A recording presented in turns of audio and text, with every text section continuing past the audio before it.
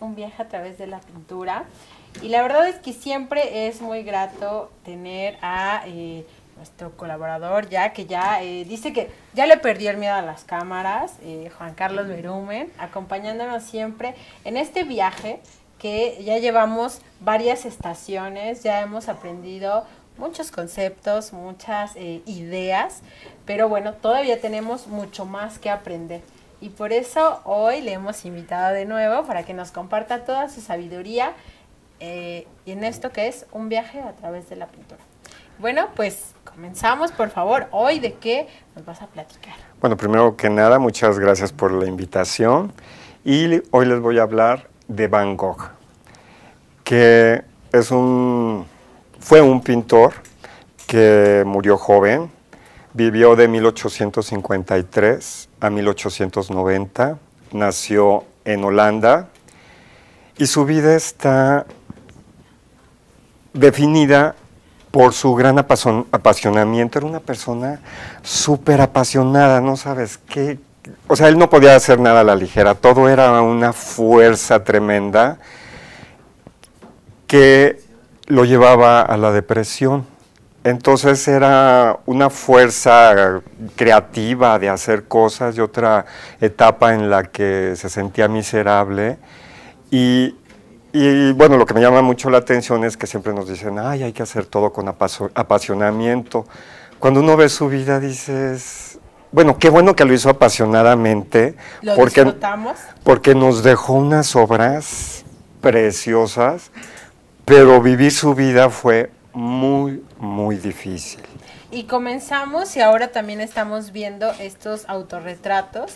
El primero que era un poco más joven y eh, este que, estamos viendo ahí era, eh, esto es un autorretrato, o sea, es como se veía él mismo. Sí, sí, los dos son autorretratos y el primero es, eh, pues siempre fue joven, digamos, este se veía él bien y en el segundo fue cuando se cortó la oreja y entonces sale así como, se ve como perrito así, este, triste y todo, con la oreja vendada, que, que fue cuando se la, se la cortó.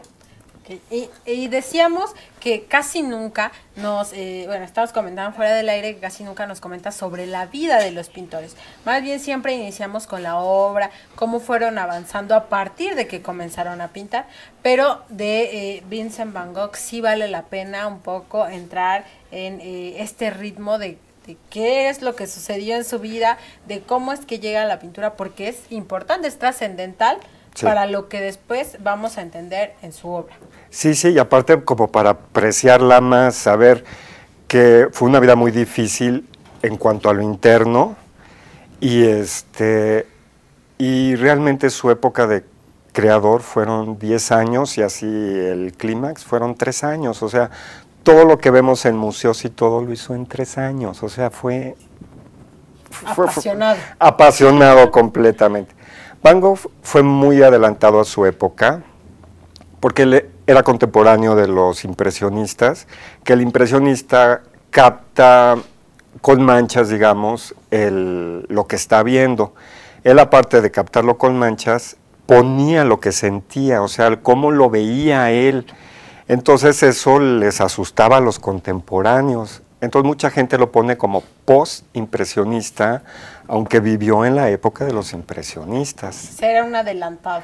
Completamente, hasta cosas comunes en su vida, que él era holandés, bueno, ahorita lo vamos a ver, viajaba por Europa como si nada, se iba a vivir a Londres, se iba a vivir a París, se regresaba a vivir a Holanda, se iba a Bélgica, o sea, eso lo vemos hoy en día, pero en el siglo XIX no era tan sencillo y para él era como lo común y corriente.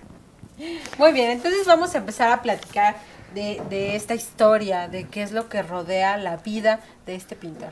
Claro que sí. su infancia y su adolescencia aparentemente fueron felices, no hay rastros de, otra cosa, y él tuvo su primer contacto ya con, la, con, el arte a los 16 años, pero no como pintor, sino como aprendiz en una, que hoy, que hoy les llamaríamos galería de arte, en aquel entonces le llamaban los marchantes de arte en Holanda. Y a los 20 años tuvo una promoción y lo mandaron a vivir a Inglaterra. Entonces, haber sido muy buen vendedor, digo, para que a los 20 años te cambien a la sucursal de Inglaterra, de Londres, para, este, para trabajar, pues haber sido muy buen vendedor.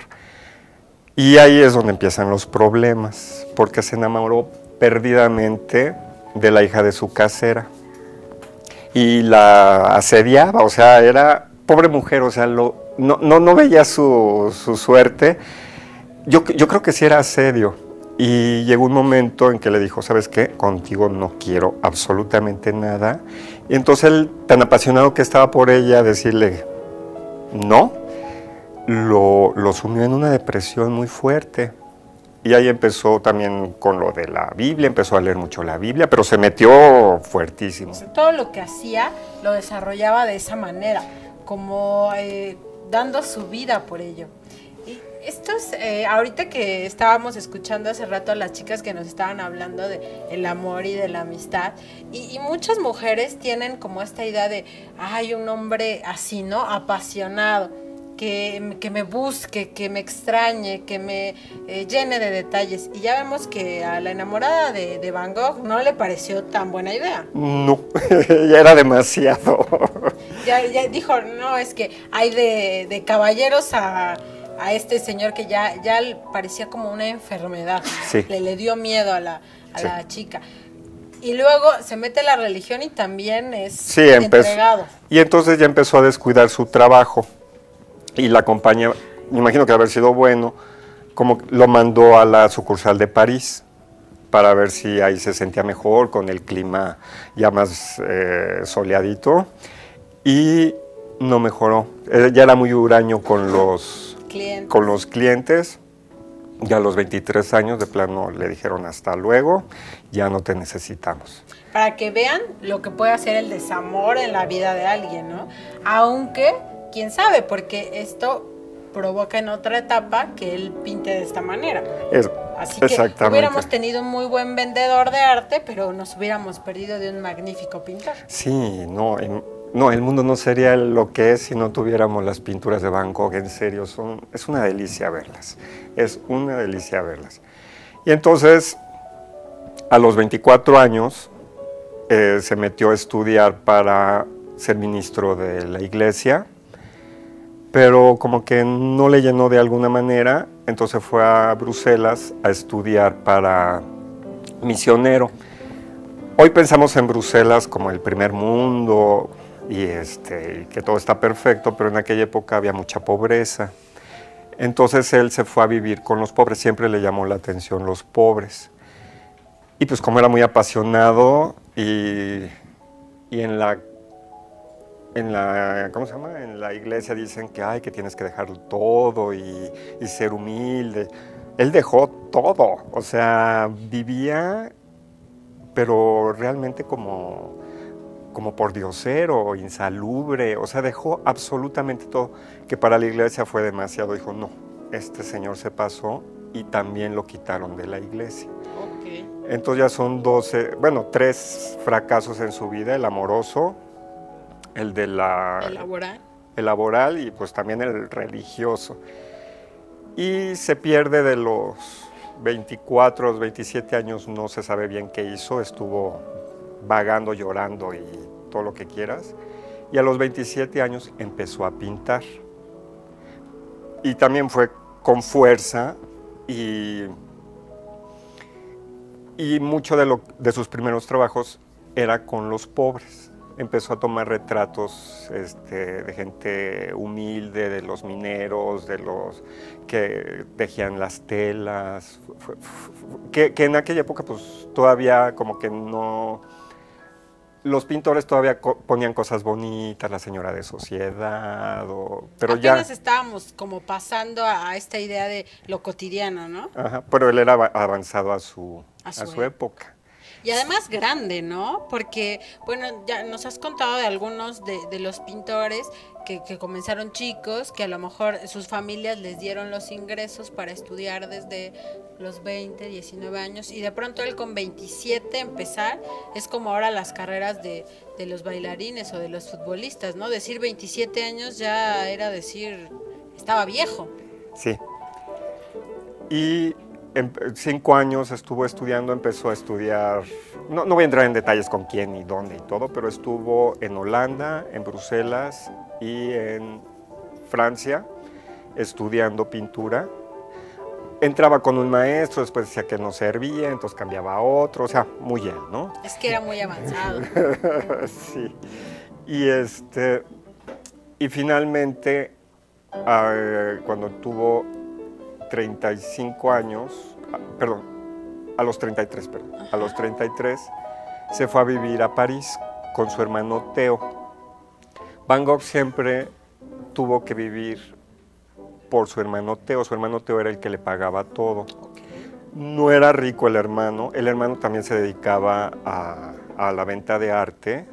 Traba de hecho, trabajaba en la compañía donde despidieron a Vincent. ¿Eh? O sea, él hizo lo que Vincent no pudo. Exactamente. Y es, pues es horrible porque él vendiendo arte nunca pudo vender los cuadros de su hermano porque eran súper avanzados para la época y él tenía que pagar pues los gastos de, de, banco, que él trataba de vivir humildemente y todo, pero pues siempre mantener a alguien cuesta Claro, trabajo. Definitivamente.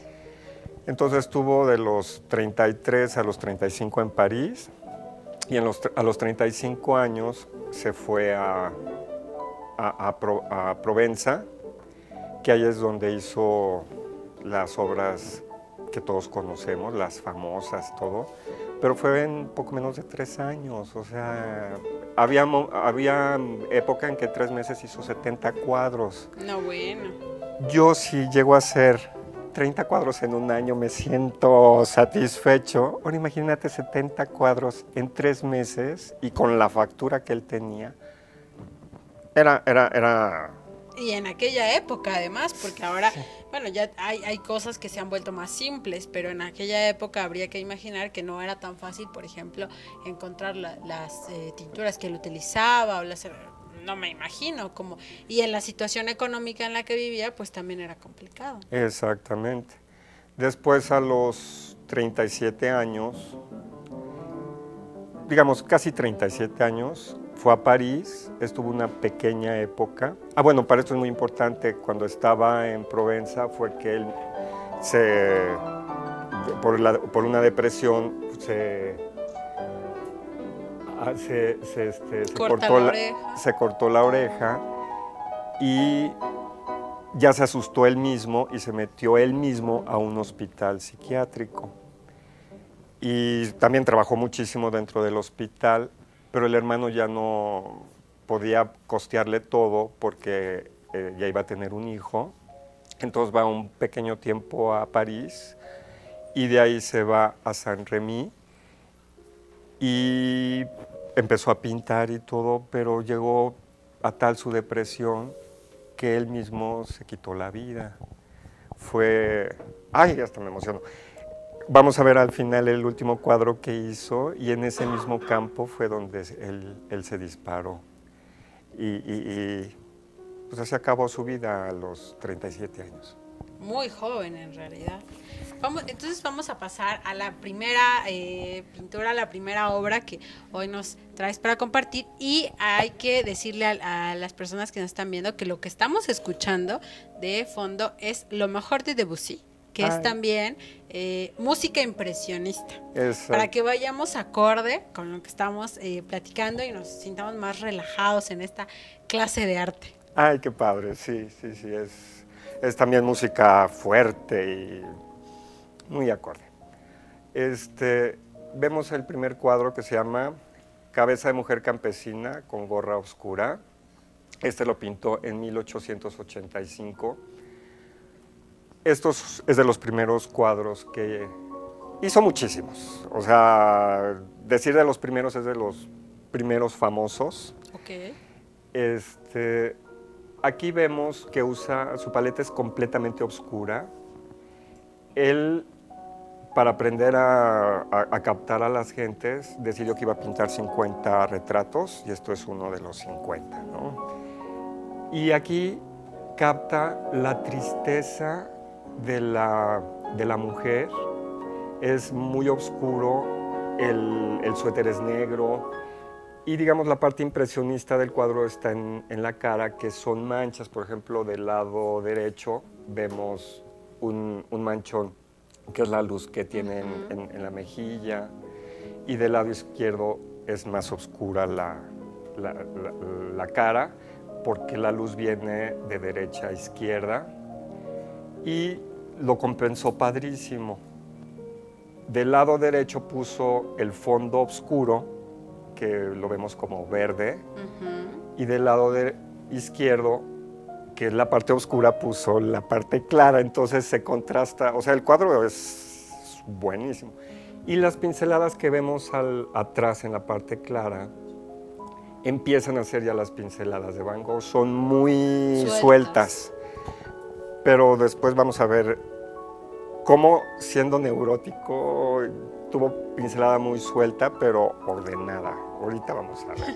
Qué, qué difícil es pensar en esto, conceptualizar algo que es muy ligero, pero que está pensado.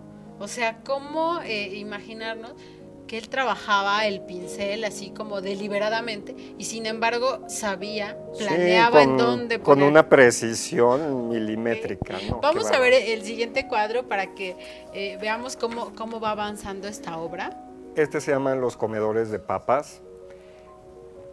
Como te decía, él, estuvo muy cerca de los pobres. Entonces sus primeros cuadros era como mostrar lo que era la pobreza. Estos eran campesinos en, no me acuerdo si en Holanda o en Bruselas. Y lo que comían eran papas, o sea, no tenían ni carne, ni eran papas y café. En este cuadro trató de mostrar cómo se les había ajado ya la cara con el sol, cómo estaban desnutridos, entonces les veían los huesos de la, de la cara, pero se le fue un poco la, man- la mano y pareciera un poco caricaturesca este Sí, cuadro. sí. Se ve, o sea, que, que- que no son reales, como, como si hubiera querido burlarse de ellos y de ninguna manera su intención.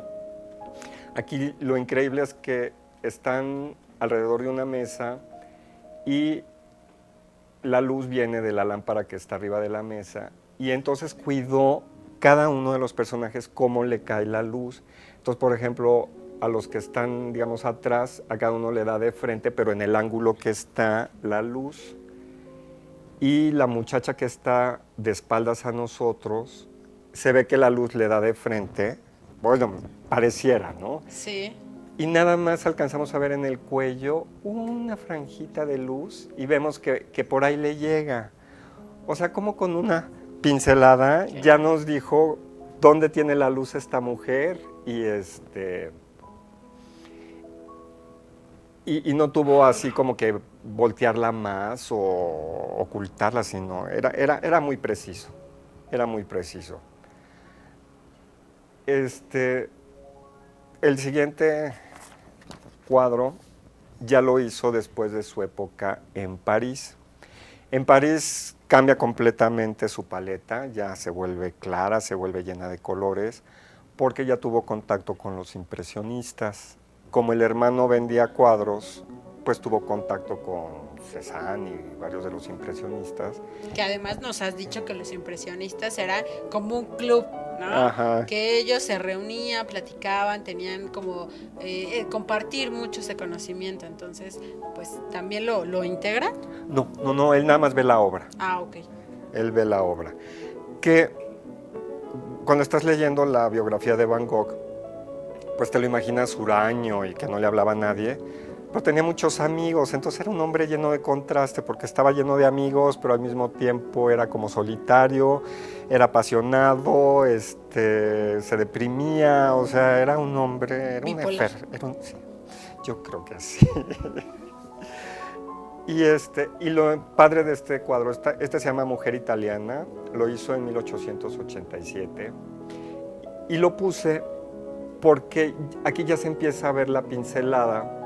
Digamos, el cuadrito de colores, las grecas que tiene en la parte de arriba y en la parte izquierda, son ya pinceladas como muy pensadas, pero no son la- la- la- las líneas no son completamente rectas, hay unas curvas hacia arriba, otras hacia abajo, unas se llaman que están vibradas, que no está completamente lleno el, de pintura la raya, sino se alcanza a ver lo que había abajo de esa raya, pero se ve como que fácil se pasó para él, un día dibujando rayita por rayita.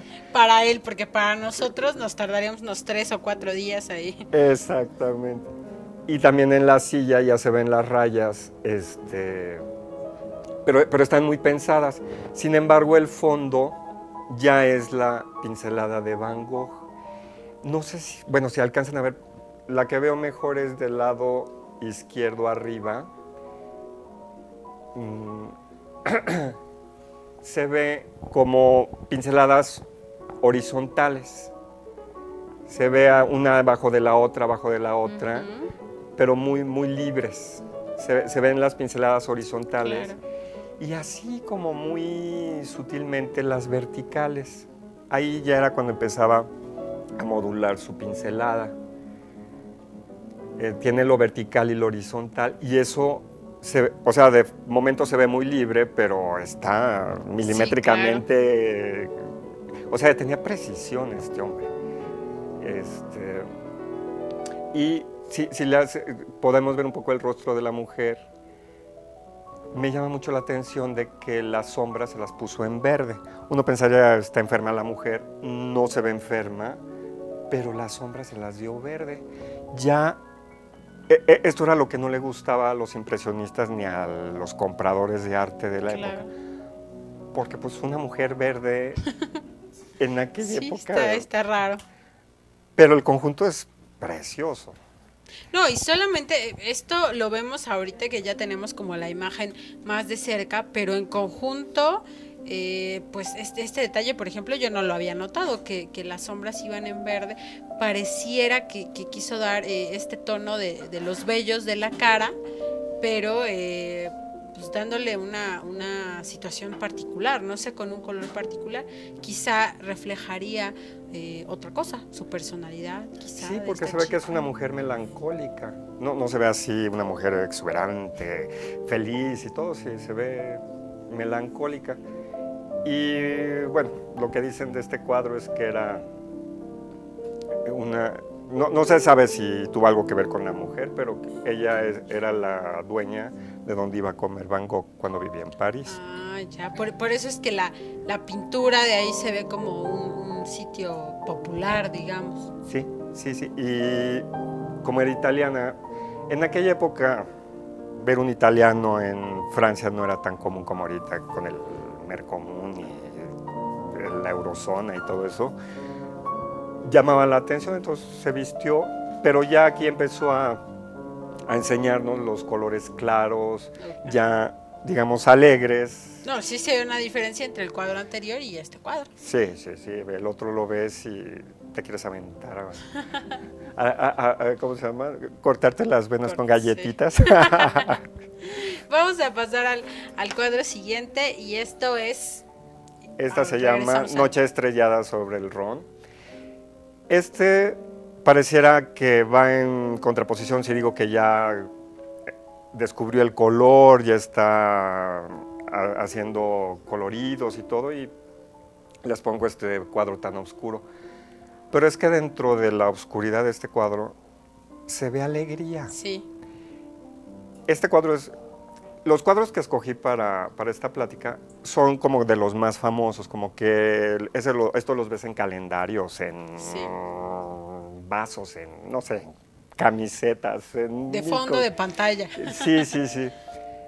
Entonces, aquí ya vemos completamente el estilo Van Gogh. Sí, Lo podemos ver en la parte de adelante, donde está la pareja caminando, ya se ven las, las pinceladas que te digo que son, parece que son muy sueltas, pero están completamente alineadas. O sea, sigue, sigue una, un ritmo y, una línea. Como una misma trayectoria. Sí, pero esa no, no iba así como que atinándole.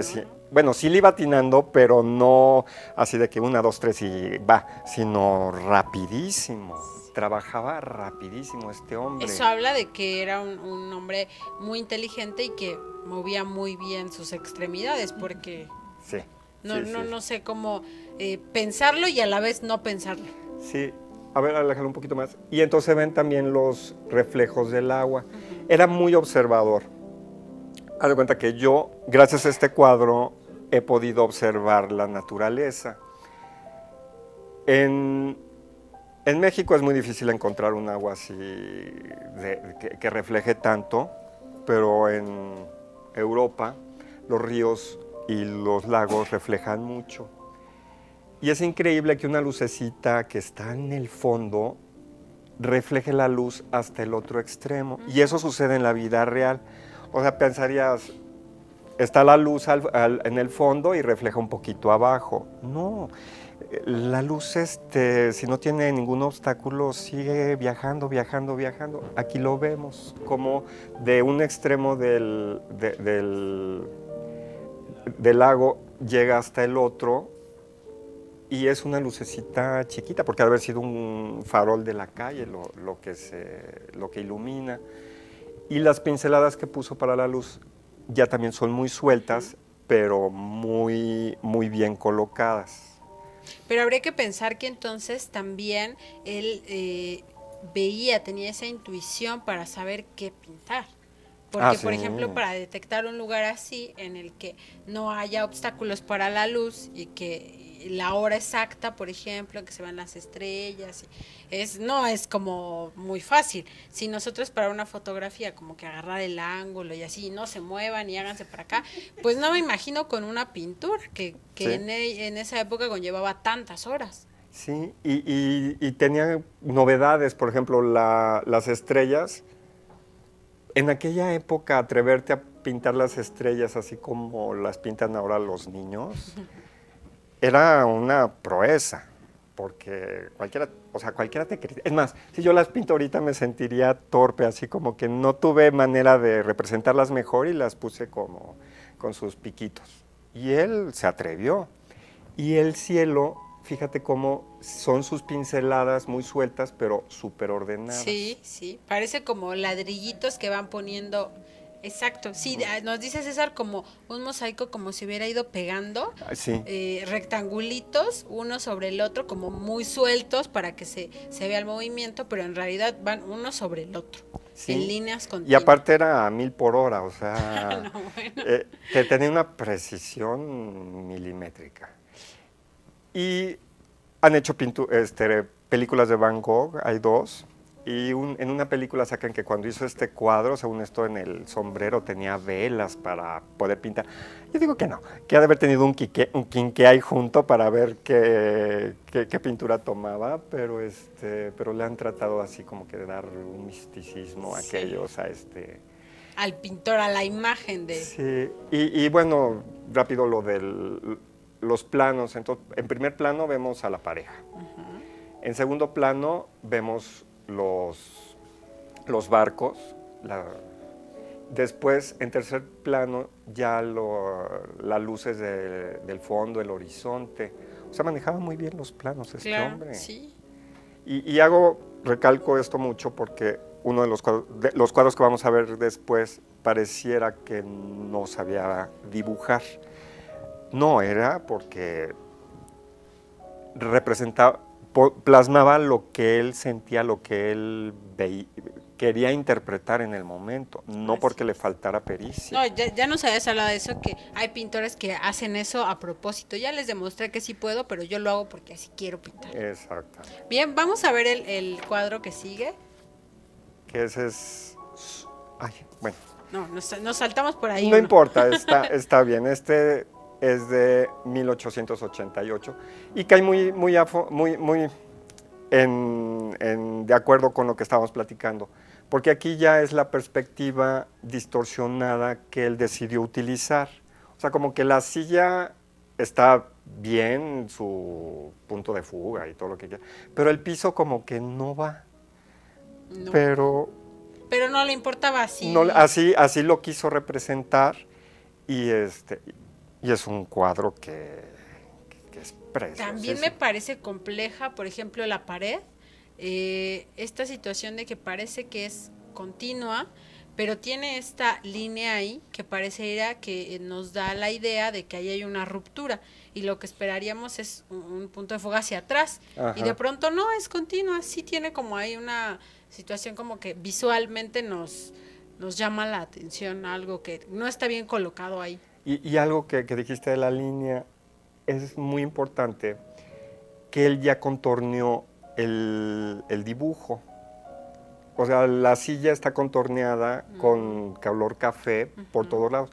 Que esto pareciera ya, digamos, infantil, porque en teoría, pues, un, pintor trata de que la representación de la naturaleza y, matar los filos y que se, se- se mezcle mejor con el entorno. Y él no, ponía las líneas así como si fuera este dibujo de niños. Más en el ambiente impresionista, ¿no? Sí. Yo me imagino que para ellos habrá sido así de, ay, ¿cómo se atreve si nosotros es lo que estamos buscando quitar y ahora de pronto él... él lo pone. Y entonces ya, ya es completamente su pincelada. El piso se ven así manchas y, y, pues distintos tonos, pero cada parte del piso son las pinceladas moduladas. Sí, ca- cada recuadrito tiene como su, eh, su propia manera, ¿no? Su propia Sí, forma. pero van en horizontal y en vertical. Hay líneas horizontales, verticales, y de lejos se ven muy a la... Bueno, si eran al azar, pero la, hacía que cayeran a la perfección. Ok.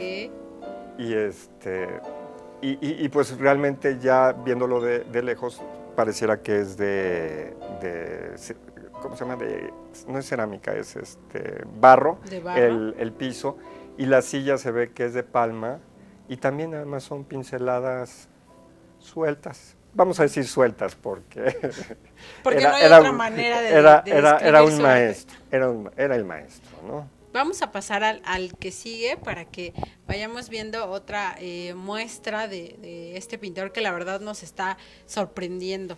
Sí, sí, sí, sí. Este era el que iba a poner antes, que son los girasoles. De este hay siete cuadros.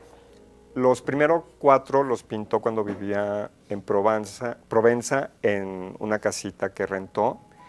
Y los pintó porque iba a llegar el, el pintor este, Gauguin a vivir con él, que eso lo, llenó de alegría porque ya según él iba a ser su comunidad de pintores y se iban a ayudar y, se iban a echar la mano uno al otro. Entonces decoró el cuadro, el cuarto donde iba a estar Gauguin con cuatro pinturas de girasoles. Y ya que las acabó, decidió que nada más dos eran dignas de que las firmara. De esas cuatro, nada más dos están firmadas. Y más adelante, cuando estaba en el hospital psiquiátrico, bueno, no sé si era exactamente psiquiátrico, pero era ¿Un para, hospital para- de para- reposo? para, para gente con problemas mentales, este, hizo otros tres. Pero este cuadro es... O sea, todo el mundo lo vemos que, que este sí lo sacan hasta en portavasos. O sea, en todos lados Es vemos muy los... famoso. Sí. Y, y- y vuelvo a lo mismo. Tiene la delineado perfectamente bien el jarrón, que está distorsionado. O sea, pero él porque apeteció hacerlo así, no, no porque le faltara pericia. Este está firmado. Este cuadro está en la National Gallery en Londres. Sí. Y las, cada flor es una plasta impresionante de pintura, porque puso el color oscuro abajo y después le iba poniendo arriba un poco más claro y después otro más claro y otro más claro. Entonces hizo una plasta muy gruesa de, de pintura. Y podemos ver, la luz le venía de frente al cuadro. Entonces, se, se ve tonos muy claros en los girasoles, digamos, este, de, de frente, en la parte de arriba, porque aparte la luz venía de arriba, le pegaba en la parte de arriba de los Sí. girasoles. Y por ejemplo, los que están de lado, los pétalos que dan hacia el frente están más claros, y los pétalos que están atrás los puso más oscuros.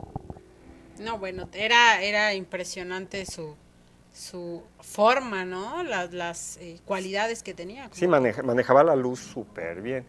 Y el fondo es otra vez la, la pincelada vertical y horizontal, Que ahí no lo percibimos tanto. Ahí No, es un poco más difícil. pe- pero, pero está. No, no, no, no, no, no se alcanzó. no, no. Había, había puesto una foto que se veía muy bien, pero no la pude pasar por internet. Era Entonces- pesadísima, pero, pero créanme, se ve, todo el fondo es la pincelada este, modulada y, y los girasoles de Van Gogh han inspirado a infinidad de, de pintores. Todo el mundo ha querido pintar sus girasoles y este, pero, pero realmente el que es dueño del, del De la tema idea. es Van Gogh. Y vamos con la siguiente, y esto es. el cuarto en Arles. Es también, este lo hizo en 1889, óleo sobre lienzo, y esa, a lo que voy, la perspectiva se ve rara, o sea, las sillas Sí. como que están en un plano, la cama en otro, pero pues era como él percibía su... Los cuadros me llaman la atención, son como curvos, Ajá. como si estuvieran saliendo de la pared. Sí, todo, el cuadro en conjunto es muy extraño. pero es este muy muy muy significativo porque aquí ya era Van Gogh eh, 100% y cada parte del, cuadro tiene la pincelada modulada, la cama, ahí se alcanza a ver cómo va siguiendo el contorno de, la piecera, cómo va siguiéndolo la, la pincelada, la parte de abajo que es vertical, se ve la pincelada vertical, el piso, cómo viene hacia acá la pincelada. O sea, era una exquisitez su pincelada y los colores que usaba. por- por- porque, por- por- imagínate, usar amarillos y azules claritos no, no eran tan comunes en la época. Y de nuevo los contornos, ¿no? Ajá. Que ahí están remarcados en azul eh, un poco más fuerte, los cafés. eh, de nuevo está haciendo como esta idea de, de lo infantil. Sí, sí, sí, sí. Y, y, bueno, decía de para la época lo de los colores, no, es dificilísimo que un pintor tenga esta paleta en sus cuadros. Generalmente vas a cualquier exposición, incluso eh, pintores mexicanos, que según aquí tenemos el sol, y en México somos muy ocres. Ok. Y en general los pintores tendemos al verde, a los oscuros, pero usar amarillos, naranjas, muy pocos pintores se atreven a usarlos. Así, colores muy vivos, es difícil que un pintor se, se atreva, porque realmente no están en la naturaleza. Es o- difícil. el otro día buscando colores, porque ves, te das cuenta una bugambilia, pero es nada más la bugambilia y las plantas es verde y sobre pasto verde y blanca la, la pared donde está. Estaba viendo un libro que decía el libro de los colores y pues sí, buscan con lupa un color, haz de cuenta unos dulcecitos mexicanos este, que son rosas, o- pero, pero encontrar en la naturaleza estos colores es Complicado. muy, muy difícil. Vamos a pasar al siguiente, que es este que nos platicabas, que es el último cuadro. Se, se piensa que es el último, este ya fue en San Remy, se llama Sembradío de trigo con cuervos. La gente que, pues todo el mundo trata de interpretar, ¿no? Yo, yo, yo me tiendo más a mostrar eh, pinceladas, colores, perspectiva, para que cuando cualquier gente esté frente a un cuadro sea lo que busque. Porque ya saber que, por ejemplo, que dicen que era muy melancólico este cuadro, pues quién sabe. Yo lo veo, pues el amarillo y todo, lo, lo veo alegre para mí, pero hay gente que dice que no, que el cielo ya estaba, bueno, a borde de, de suicidarse el hombre. Pero, pero es padrísimo el cielo, como nos pone otra vez las pinceladas muy, muy sueltas, pero Sí. muy ordenadas. Pero ahí que se notan muchísimo más, ¿no? Están como más marcadas. Sí, porque conforme vas pintando, se van volviendo más exquisitos los pintores. Todos se van, a- al- los cuadros de al final de cualquier pintor tienen exquisitez que no tenían al principio. Entonces aquí ya la pintura ya, ya se atrevía hasta a emplastarla, porque cuidas mucho que, por ejemplo, que el azul se vea nada más un tono y aquí tenía azul oscuro abajo y ponía un azul más claro arriba y como que se empastaba y ya no le importó. O sea, se las arregló para que se viera bien. Pero como, como la la- las pinceladas están muy, muy ordenadas y cuando lo ves así de momento pareciera que eh, cogía el pincel casi sin ver, pero no. Ve, ve el, el- el camino como va, va, va muy ordenada cada, cada pincelada. Así es. Y si lo, si lo alejas, vemos a los cuervos. Ay, no, ya se nos perdió. Sí, Ahí está. los cuervos, que también hoy en día, ay, voy a ponerle una gaviota y le haces así, ya está la gaviota en el cuadro. ¿no? Aquí son cuervos. Pero en aquella época no existía este abstracción de- de las aves. O sea, él fue de los primeros en utilizarla. Entonces, se piensa que esto fue uno de sus, su último trabajo, no se sabe ciertamente, pero lo que sí es que en este mismo campo que él pintó, una mañana decidió entrar al- al- al- a este campo y darse un balazo en el pecho. Y desafortunadamente no murió luego, luego, eh, tuvo una agonía horrible. Pudo venir su hermano Teo de París y ya murió este, junto, acompañado de su hermano Teo. Y, y siempre fue por, por la melancolía, por la depresión tan, tan grande que, que tenía. Pero es, te digo, los grandes contrastes de Van Gogh, que ves este cuadro lleno de explosión, de pasión, de, de- de una fuerza asombrosa, y por otro lado decidió matarse. Así de complejos son los. No todos. Él sí. él sí, él sí. Por eso, por eso quise hablar mucho de su vida, porque su vida va muy ligada a su obra. Por- porque todos los pintores, como la mayoría, como que se casan y tienen a su enamorada y a sus hijos y van de día de campo y todo. No, él era la pintura, su, Su vida. su pasión. Era, era lo que lo mantenía cuerdo.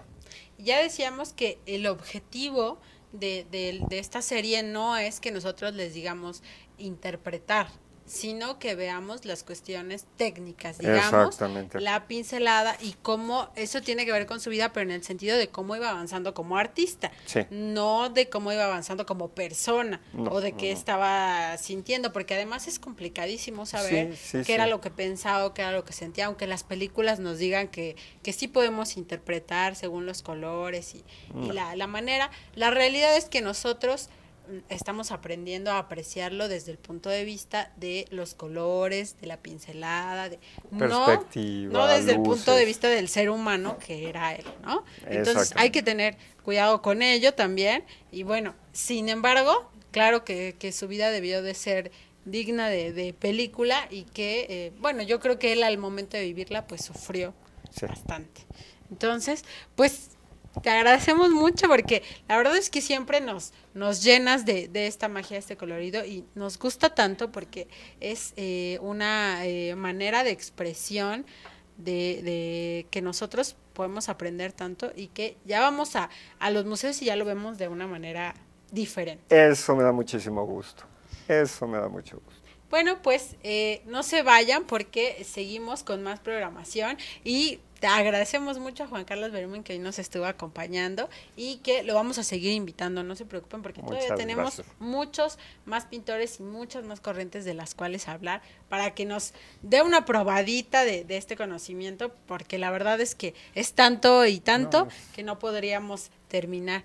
Bueno, pues esto fue un viaje a través de la pintura. No se vayan, esto es de GES TV, TV Aprendiendo. Yo soy Alma Rangel y nos vemos en un momentito más para continuar con más programación. Adiós.